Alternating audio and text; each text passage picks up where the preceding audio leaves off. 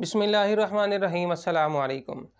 ناظرین، پچیس سال پہلے کی بات ہے کہ انڈیا کی عدالت نے ایک فیصلہ سنایا اور فیصلہ یہ سنایا کہ جانوروں کے ساتھ جو سرکس کے اندر سرکس کی جاتی ہے، ان کے ساتھ تماشے کیے جاتے ہیں، ان کے ساتھ کھیلا جاتا ہے، ان کو تنگ کیا جاتا ہے۔ یہ تمام چیزیں بند کر دی جائیں، کیونکہ جانوروں کے ساتھ ایسا سلوک کرنا کوئی اچھی بات نہیں۔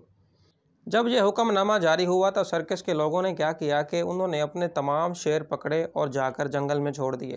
جیسے ہی انہوں نے جا کے جنگل میں چھوڑے تو کچھ دنوں کے بعد پتہ چلا کہ تمام شیروں کو گیدڑوں نے کھا لیا ہے۔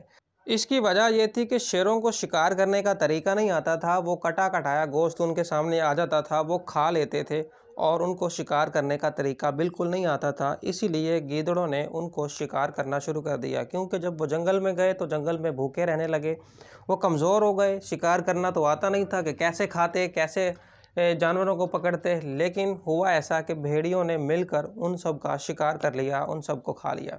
تو ناظرین، یہی مثال آپ کے بچوں کی ہے۔ اپنے بچوں کو سرکس کے شیر نہ بنائیں، بلکہ ان کو کچھ ایسا سکھائیں کہ جب خدا نہ خواستہ اگر آپ کہیں پہ چلے جاتے ہیں، کوئی ایسا کام آ جاتا ہے، ایسا وقت آ جاتا ہے کہ آپ اپنے بچوں سے جدا ہو جاتے ہیں، تو اس دور کے اندر خدا نہ خواستہ اگر آپ اس دنیا سے چلے بھی جاتے ہیں، تو اس وقت آپ کے بچے وہی سرکس کے شیروں والا کام نہ کریں کہ کوئی آ کے لا کے دے گا، کما کے دے گا تو وہ کھائیں گے، ورنہ وہ بیٹھے ہوئے ہیں۔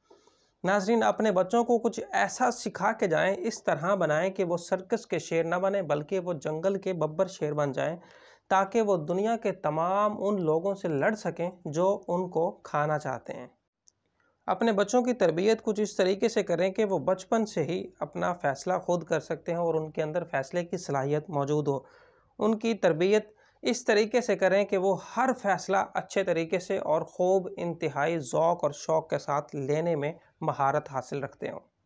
اگر آپ کے بچے اپنا فیصلہ خود کر سکیں گے اور اگر اپنا کام خود کر سکیں گے، اگر ان کو ہنر آتا ہوگا، کوئی نہ کوئی کسی کام کا سلیقہ آتا ہوگا، تو وہ پھر اس دنیا میں رہنے کے قابل ہیں۔ ورنہ ایک ایسا دن آئے گا کہ جب ان کو بھیڑیے، اس دنیا کے بھیڑیے جو انسانی شکل میں موجود ہیں سب کے سب نوچ کے کھا جائیں گے اور آپ کو پتہ بھی نہیں چلے گا کہ ہماری اولاد کے ساتھ ہوا کیا تھا۔ اور یہ تو اتنے معصوم ہیں، ان کو تو کھانا کھانا بھی نہیں آتا، بلکہ کسی سے یہ بھی نہیں پتہ چلتا ان کو کہ ہم نے کھانا لانا کس طرح ہے، ہمانے، ہم نے کمانا کس طرح ہے، کہاں سے لے کے آنا ہے۔